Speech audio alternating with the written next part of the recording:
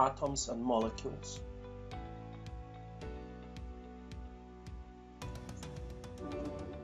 An atom is a particle that consists of a nucleus of protons and neutrons surrounded by a cloud of electrons. The atom is the basic particle of the chemical element.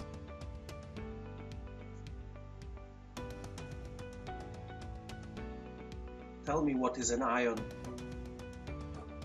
An ion is an atom that has gained or lost one or more electrons, giving it a net positive or negative charge.